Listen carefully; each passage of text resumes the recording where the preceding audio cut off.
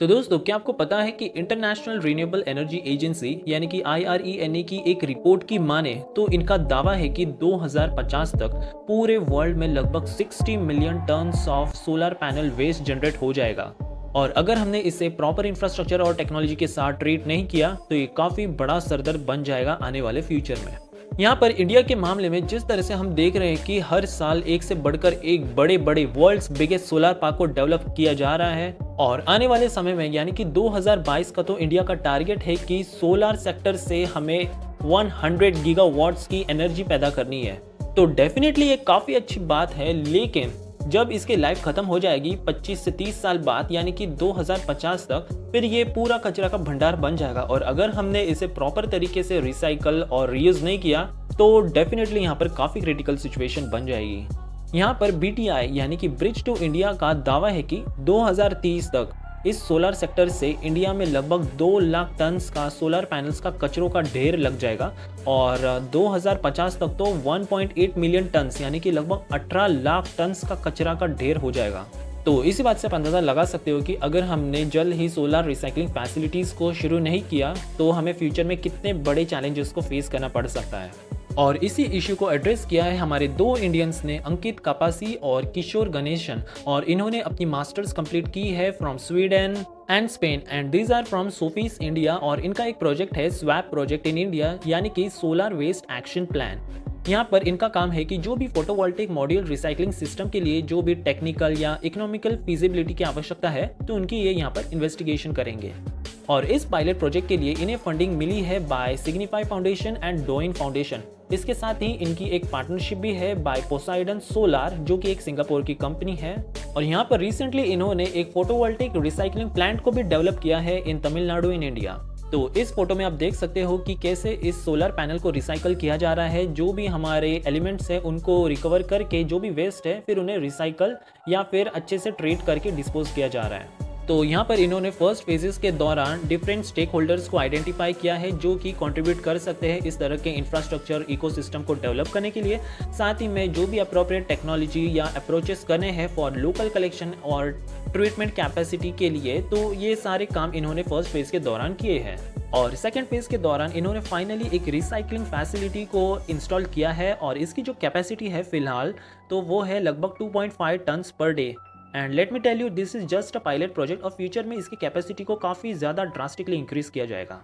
यहाँ पर इन्होंने कहा है कि जो फंडिंग इन्हें, इनके पार्टनर से मिली है तो उसके हेल्प से जो हमारी ई वेस्ट डिसमेंटलिंग कंपनीज़ है इन इंडिया तो इनके कैपेसिटीज़ को भी एक्सपैंड करने में काफ़ी हेल्प मिलेगी। यहाँ पर लोकल एम्प्लॉयमेंट को भी बढ़ावा मिलेगा और जिस तरह से हम सभी जानते हैं कि जो हमारे अदर वेस्ट स्ट्रीम्स हैं तो वो काफ़ी ज़्यादा हाईली अनऑर्गेनाइज हैं। लेकिन एटलीस्ट इस प्रॉपर फंडिंग के साथ हम एक formal solar waste treatment sector develop कर सकते हैं इन इंडिया यहाँ पर आप देख सकते हो कि एक पीटीआई की रिपोर्ट है managing India solar PV waste यहाँ पर साफ़ साफ़ बताया गया है कि हमारी जो पैनल्स है तो उसमें 80 परसेंट ऑफ़ जो वेट होता है तो वो अकेले एल्यूमिनियम का होता है, जो कि पूरी तरह से नॉन हजार्डियस है, इसे हम फर्दर यूज़ कर सकते हैं। लेकिन यहाँ पर सबसे ज़्यादा ध्यान देने वाली जो बात है तो वो है materials like polymer metal metallic compounds और एलॉयस और इन्हें ट्रीट करना definitely it's a challenging task इसके साथ ही जो इंडिया के सोलर पैनल है तो उसमें 93 परसेंट कॉन्ट्रीब्यूशन है क्रिस्टलाइन सिलिकॉन का। तो आप यहाँ पर देख सकते हो कि कितने हाईली डोमिनेटेड है ये यहाँ पर। इसके साथ 7 percent share is from thin film solar modules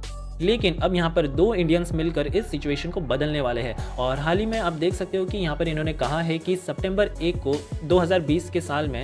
इनका एक पूरी तरह से फुल्ली फंक्शनल प्लांट मौजूद है इन तमिलनाडु और ये प्लांट पोसाइडन सोलार में लोकेटेड है, जो कि पियोनर है सिलिकॉन रिसाइकलिंग के मामले में इन इंडिया तो जैसे कि मैंने आपको बताया कि शुरुआती चरणों में इस कैपेसिटी होगी 2.5 टन अ डे लेकिन आगे चलकर मई 2022 का इनका टारगेट है कि 150 से 200 टन के फोटोवोल्टिक वेस्ट को यहाँ पर ये रिसाइकल करें. फ़िलहाल तो ये प्लांट सेमी ऑटोमेटेड है, लेकिन फ्यूचर में इसकी एफिशिएंसी को इंक्रीज की जाएगी, साथ ही में इसे एक्सपांड करके इसे फुल्ली ऑटोमेटेड कर दिया जाएगा. और एज ऑफ़ नाउ देखें तो इंडिया ने लगभग 36 गीगावाट के सोलर कैपेसिटी को इंस्टॉल कर लिया है इन इंडिया और 2022 तक ये बढ़ जाएगा बाय 100 गीगावाट्स तो अब बात करते हैं रिजल्ट्स के बारे में, यानी कि ये जो रिकवरी कर रहे हैं तो वो कितना मुमकिन हो पा रहा है फ़िलहाल? तो यहाँ पर इन्होंने बताया है कि लगभग 60 टू 80 परसेंट ऑफ़ मटेरियल को यहाँ पर रिकवर कर लिया जा रहा है और इसमें जो मेन कंपोनेंट्स हैं तो वो है एल्यूमिनियम ग्लास प्लास्टिक और ई वेस्ट जो कि जंक्शन बॉक्स और केबल्स में शामिल होते हैं।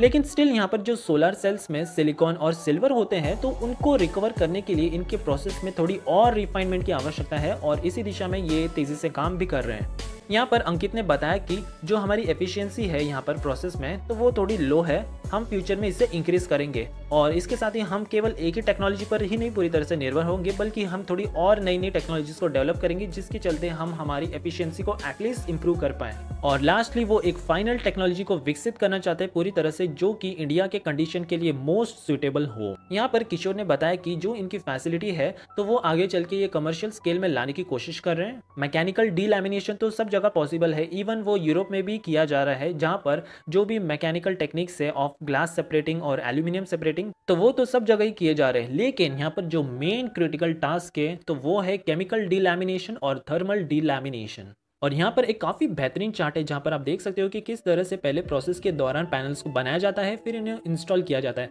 और जब इनकी लाइफ खत्म हो जाती है तो इन्हें रिटायर कर दिया जाता है, इनको पूरी तरह से डिग्रेडेड मॉड्यूल्स को फेंक दिया जाता है। And this is the end of life management उसके बाद एक बड़ा सा क्वेश्चन मार्क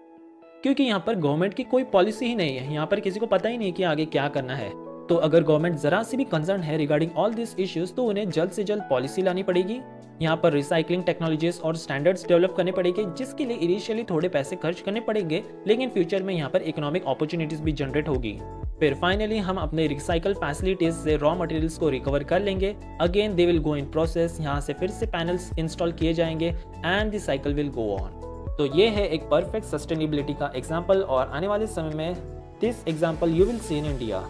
यहाँ पर फाइनली किशोर जी कहते हैं कि इन्हें इंडिया में बिल्कुल भी अवेयरनेस ही नहीं दिख रही है रिगार्डिंग फोटोवोल्टिक वेस्ट मैनेजमेंट यहाँ पर वेस्ट के पाइल बनते जा रहे हैं, इनके पहाड़ बनते जा रहे हैं काफ़ी सिग्निफिकेंटली और एक प्रोजेक्ट स्वैप की तरह इनका जो प्रोजेक्ट है तो वो प्रोएक्टिवली काम कर रहा है इस वेस्ट को मैनेज करने की दिशा में, जिसके चलते हम हमारे नियर फ्यूचर में एटलीस्ट इस सेक्टर में थोड़े सस्टेनेबल बन पाए। और फ्यूचर में वो ऐसे ऑर्गेनाइजेशन के साथ पार्टनरशिप करना चाहते हैं जिनमें एक हायर पोटेंशियल हो to manage photovoltaic waste so definitely it is very inspiring to see that Indians are addressing this Indian issues साथ ही में वो अपने इनोवेशन के साथ इन प्रॉब्लम्स को मैनेज करने की भी कोशिश कर रहे हैं। So that's it for today तो अगर आपको वीडियो पसंद आई है then please hit that like button साथ में चैनल को सब्सक्राइब कीजिए और शेयर कीजिए इस वीडियो को अपने फ्रेंड्स एंड फैमिलीज़ के साथ। मिलेंगे दोबारा एक न्यू फ्रेश वीडियो के साथ। Till then goodbye and take care